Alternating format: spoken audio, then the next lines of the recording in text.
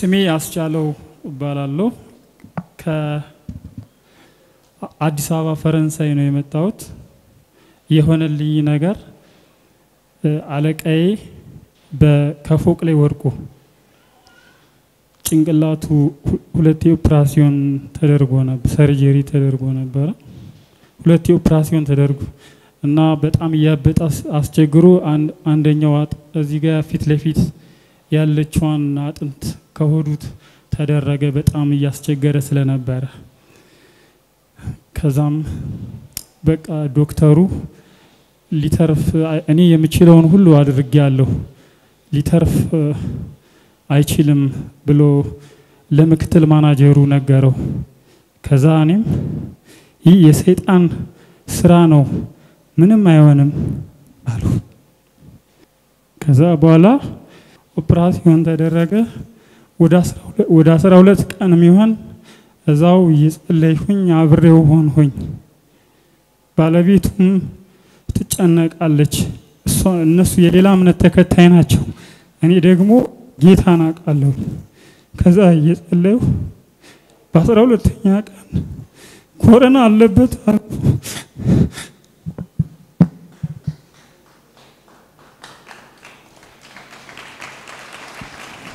አጨብጭቡለት። ምን ነው ወንድሜ? ይሄ ሰው ምን ነው የታመመው ሰው? ምንም አይደለም፣ ግን አለቃዬ ነው። እስቲ አስበው። ይሄ ሰው ትልቅ ልቡ የፍቅር ሰው ስጋው አይደለም፣ ዘመዱ አይደለም፣ ጎረቤቱ አይደለም፣ አለቃው። አንዳንድ ሰው አለቃውን አይወድም አይደለም።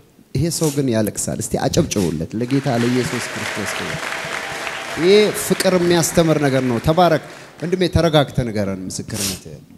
ከዛ ኮረና አለበት ሲሉኝ ከዛ እኔም በቃ ይድናን ብዬ እነሱ ይሞታን ሲሉ እኔ ይድናን እያልኩ ከዛ ባለቤቱ ማጠገብ የነበረች አይዞሽ እያልኳት እያጽናናዋት እሷን ምግብ አትበላም እያጽናናዋት አብሬ እዛው ሆስፒታል እውላለሁ አድራለሁ።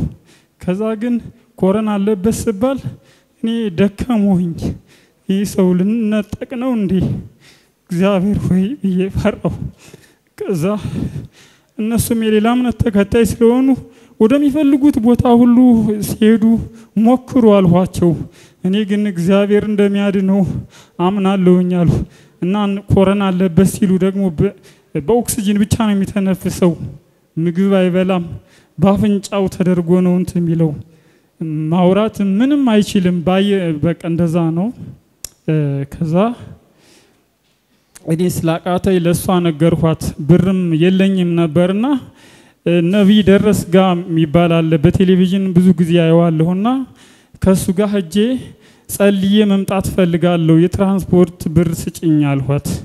ከዛ እሷም እሺ እሺ ካለህ ግን ወደዚህ መጦ ቢጸልይልን ደስ ይለኛን አለችኝ። ከዛ እኔም በጠዋት ተነስቼ ወደ ተቀቡ የእግዚአብሔር ቤተ ክርስቲያን ወደ ሁለት ወደ ደብረ ዘይት 2013 ጥቅምት ላይ ነው። ቀኑን በደንብ አላስታውስም፣ ወይ አራት ምናምን ይሆናልና ከዛ ሄድሁኝ። ተጨንቄ ስለነበር እሷ መላከችኝ። ከዛ ከውጭ በር ላይ ሆኜ እንደዚህ መጋበዝ እችላለሁ ማጸለይ ወስጄ ስላቸው አንተ መነዚ እንጂ እሳቸው እዛ ድረስ አይሄዱም። እንኳን አንተ ጠርታቸው prime minister ኡን ቢጠሯቸው አይሄዱም አሉኝ እና እንደዚህ በማለታቸው እኔ ራሱ ደስ አለኝ። ሃሌሉያ። ከዛ ፎቶውን በሞባይል ይዤ ነበርና ሲጸለይ ሁሉ በቃ ፎቶውን ይዤ ነበር እያለቀሱ እያለቀሱ ከዛ ማግኘት አልቻልኩም። የእግዚአብሔርን ሰው ማግኘት አልቻልሁኝም። ከዛ በጣም ስጸልይ እየተጠጋ ፕሮግራሙ እያለቀ ወደ ቅር እየተጠጋ ወደ መድረኩ እየሄድኩኝ ነበረ። ማግኘት አልቻልኩም። በቃ ሰው ወከባ፣ በጣም ብዙ ሰዎች ነበሩ። ግን እንደሚሆን አምናለሁ። ግን ቢያናግረኝ እያልሁኝ ነበረ። ከዛ የእግዚአብሔር ሰው ጨርሶ ፕሮግራሙን ወጣ። ከዛ የእግዚአብሔር ሴት ባለቤቱ የእግዚአብሔር ሴት ልክ ልትወጣ ስትል ሞባይሌን እንደዚህ ዝም ብዬ ይዤ እንደዚህ ነበር። ከዛ ሞባይሉ ላይ መልካም ሆኖልሃል አለች።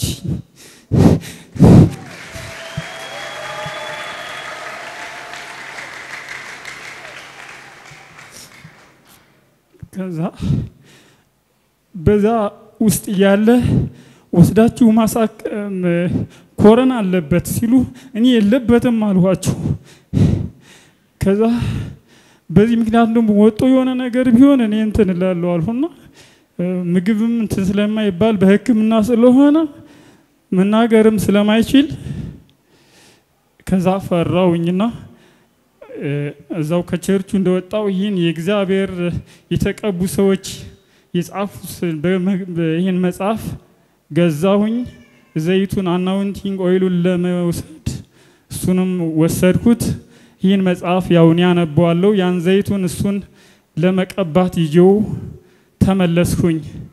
ከዛ ICU ውስጥ ነው ያለው። ICU ውስጥ ብዙ ሰው አይገባም። ለእኔና ለባለቤቱ ለአንደኛው እህት ይፈቀድልን ነበረ።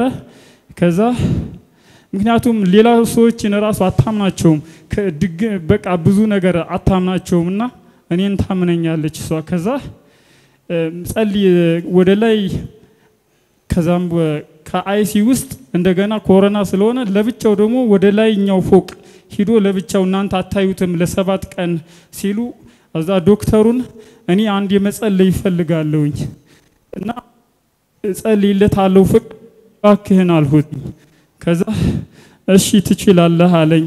ከዛ ዘይቱን በእጄ ቀብጬ ገባሁኝና ምንም ያው ሰውየው ምንም እንትን አይሰማ ምንም አይልም። እግዚአብሔር ሆይ አዳኝ የሁሉ አዳኝ አንተ ነህ፣ የነቢይ ደረሰ አምላክ ብዙዎችን ስታድን አይቻለሁ፣ እባክህን አድነው ብዬ ቀባሁት።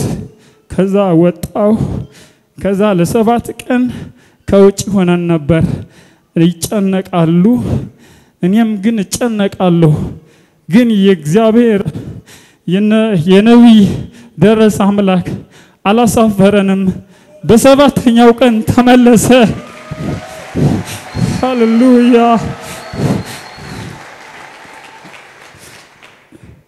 ይህ ሰው እንኳን በኮሮና ተይዞ ሊድን normal ሰው ራሱ በዛ ሰዓት አይድንም። በኦክሲጂን የሚተነፍስ ሰው ተጨማሪ ኮሮና ኑሮበት፣ ግን ለእግዚአብሔር የሚሳነው ነገር የለም።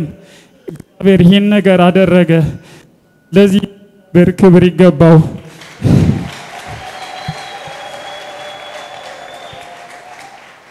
ይህ ለብዙዎች ምስክር ይሆን ዘንድ ቁጥር አንድ ደረጃ ተቋራጭ ነው።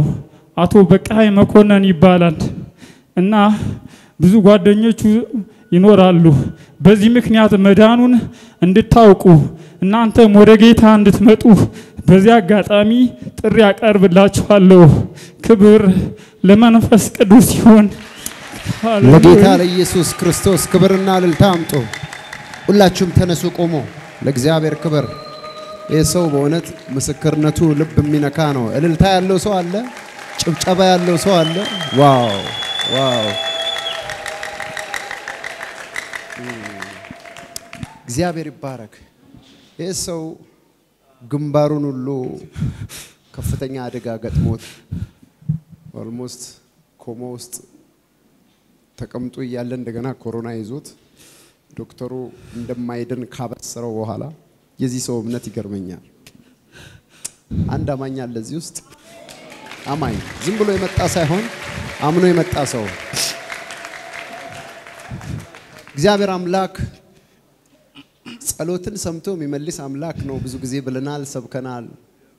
ግን እግዚአብሔር አምላክ ለጥያቄዎቻችን ሳይሆን ለእምነታችን ነው መልስ የሚሰጠው። እዚህ ውስጥ ጥያቄ የሌለው የለም። ሁሉም ሰው ጥያቄ አለው። እግዚአብሔር መጀመሪያ ጥያቄውን ሳይሆን እምነታችሁን ነው የሚያየው። አጠገባችሁ ያለውን ሰው ዛሬ ጥያቄ ሊኖር ይችላል በሉት። እግዚአብሔር ግን ለጥያቄ አይደለም መልስ የሚሰጠው በሉት። እግዚአብሔር መልስ የሚሰጠው ለእምነት ነው።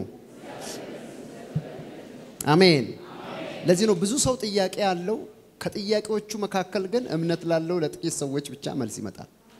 ስለዚህ እግዚአብሔር ጥያቄን ሳይሆን ምን ያህል አንድ ሰው ይንገረኝ፣ ምን ያህል ጥያቄ ሳይሆን ምን ያህል ይሄ ሰው አማኝ ሰው በቃ መቶ percent ድርቅ ያለ አማኝ ማለት ይሄ ሰው አይሞትም ይላል። ሰው ይሞታል እያለ ባለሙያዎች ዶክተሮች ይሞታል እያለ አይሞትም ይላል እሱ።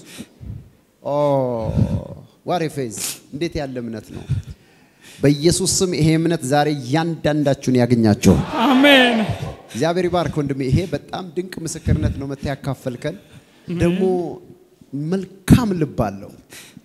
እኛ ኢትዮጵያውያኖች እንደዚህ ስንሆን ነው የሚያምርብን። በስጋም በቀለምም በብሔርም በዘርም ሳንተያይ ሰው በመሆናችን ብቻ መልካምን ነገር ተመልከቱ። ሲያለቅስ ማንም ያለቅሰው እንደዚህ የማይሆን ነገር ነው። እኛ የሚያምርብን እንደዚህ ነው። በመላ ኢትዮጵያ ላላችሁ እርስ በርሳችን ከተዋደን ከተፈቃቀርን እግዚአብሔር አምላክ ይሰማናል። ኢየሱስ የተባረከውን ለጌታ እልልታ ጭብጨባ እየሰጣችሁ ወንድሜ ተነስ ተነስ። ጌታ ኢየሱስ ይባርክህ። ተባረክ። እግዚአብሔር ዘመንን ይባርክ። አንተ በፍጹም አትወድቅም። አሜን በዘመን መካከል እያበራህ ትኖራለህ። አሜን ምክንያቱም መጽሐፍ ሲናገር የዋሆች ብፁዓን ናቸው ምድርን ይወርሳሉና ነው። አሜን ትወርሳለህ አንተ፣ አሜን ወራሽ ነህ አንተ። አሜን ተባረክ። እግዚአብሔር ይባርክህ። አሜን። እያጨበጨባችሁ ሸኙት። God bless you። በየጊዜው የምንለቃቸውን ቪዲዮዎችና የተለያዩ መረጃዎችን ለመከታተል Prophet ደረሰ ላቀው ህዝባር Anointing TV የሚለውን የፌስቡክ ገጻችንን like ና follow ያድርጉ። እንዲሁም Prophet ደረሰ ላቀው ህዝባር Anointing TV Worldwide የሚለውን የዩትዩብ ቻናላችንን subscribe ያድርጉ። በየጊዜው የምንለቃቸውን የተለያዩ ቪዲዮዎች በሰዓቱ ቀድሞ እንዲደርሶት ደግሞ የደውል ምልክቱን ይጫኑ።